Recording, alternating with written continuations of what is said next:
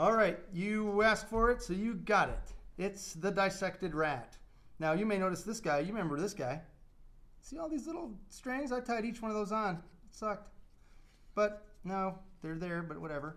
So we're going to do digestive system now, so I'm going to kind of walk my way down.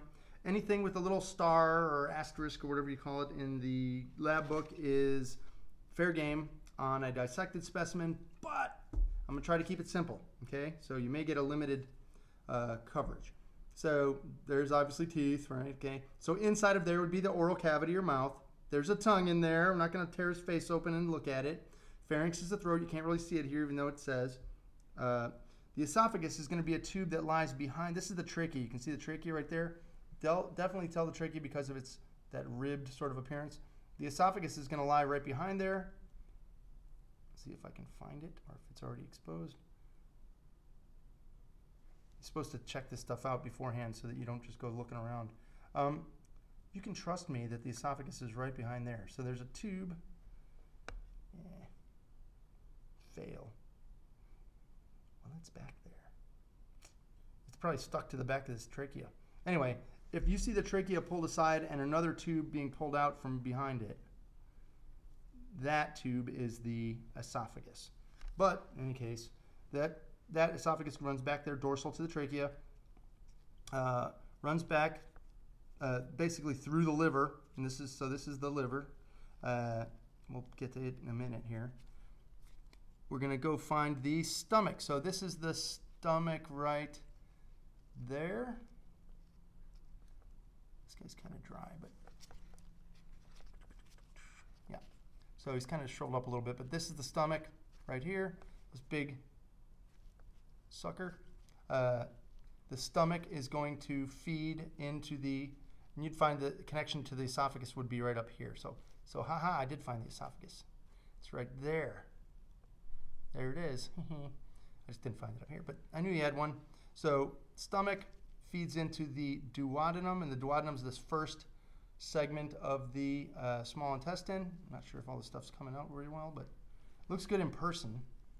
Uh, so you can clearly see a difference between the stomach sort of texture and firmness and then this tube right here, which is the first segment of the small intestine, the duodenum. Now, as I told you before, uh, I'm not going to say, and then here's the jejunum, because the jejunum kind of just, it becomes jejunum at some point, and then ultimately it becomes the uh, ileum, which, if I can, all right, so I'm used to dissecting this guy from the other side. So I was like, which side am I looking at? Uh, but if you wanted to follow this guy, now I, I, basically cheated and kind of went to the large intestine. So, but the part of the small intestine, right here, that connects to the large intestine,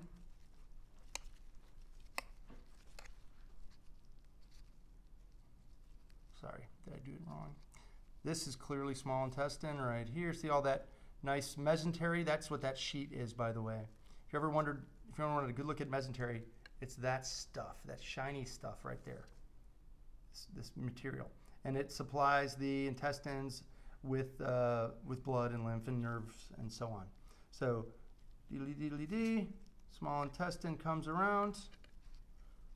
Where is it going to? Why can't I do this from the, the other side? Bother. Oh, there it is. So small intestine in my left hand right here meets up with the large intestine right here. Now, it, there's a big bag here, right? What is that? Well, there's the, this is the beginning of the large intestine, and the beginning of the large intestine is the cecum, and you can see a little blind sac right there, right there, I hope. That's like a little blind end sac. So this whole big structure is really the cecum, uh, and you can tell right there that that's a dead end. Uh, and then the cecum merges into the large intestine right here, uh, which is going to have an ascending, a transverse, and a descending colon. I'm not going to find them all. Uh, you're not going to have to identify them. Just know that that's colon. It's much bigger in diameter, you can see, which is why it's called the large intestine. That thing will come around and eventually find its way down here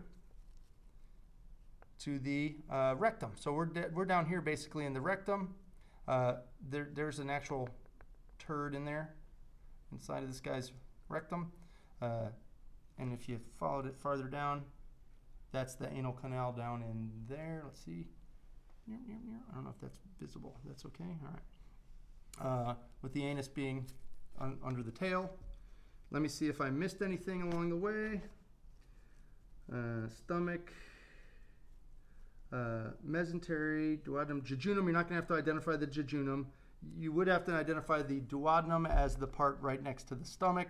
So if it's the tube right next to the stomach, it's the duodenum. If it's the tube right next to the uh, cecum, the large intestine, it's the ileum. So uh, liver, um, oh, th there's a term there, peritoneum. Well, if you remember what a peritoneum is, it's basically a, uh, a serous membrane. It's a, a, layer on the surface of the organ. So this is the, on the surface of all of these digestive organs is what's called the visceral peritoneum. That's just the surface uh, membrane. The, the uh, parietal peritoneum is going to be the lining of the body wall.